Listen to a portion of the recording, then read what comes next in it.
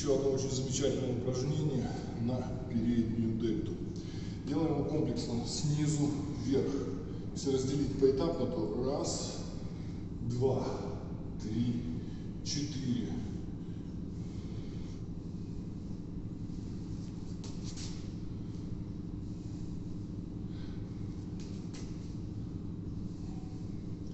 Выполнять его надо одним движением. Если мы хотим рассмотреть силовой вариант, берем гантели, насколько возможно, потяжелее и делаем на 6-8 раз. Но опять же, не рывками, не забрасывать. Нас интересует не амплитудно забросить, толкнуть.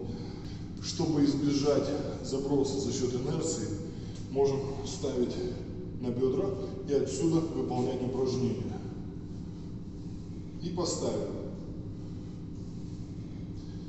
Если мы работаем на выносливость, соответственно, берем небольшой вес, высокий темп и начинаем выполнять либо двумя руками одновременно, либо поочередно. Например,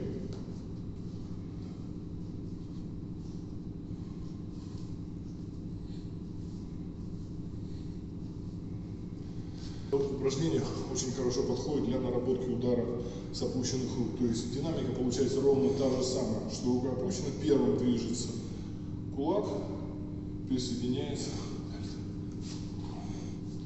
Соответственно, если мы хотим наработать этот момент, берем небольшой вес гантелей, становимся в позицию и в ней начинаем отрабатывать. С доворотом корпуса все как положено.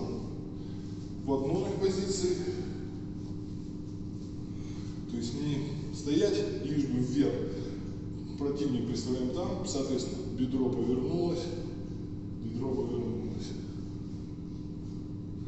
То есть таким же образом нарабатываем на шагах.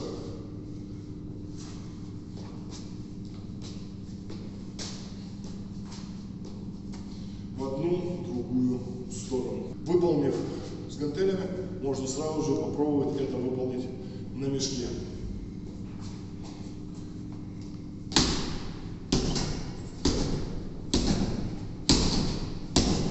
Напомню, если с гантелями нам важным является старт, вкручивание работы плеча, то на мешке нам уже становится важна концовка. То есть мы взорвались и не лишь бы коснуться цели, а жесткое присоединение к цели всей структуры. Пробуйте, ищите.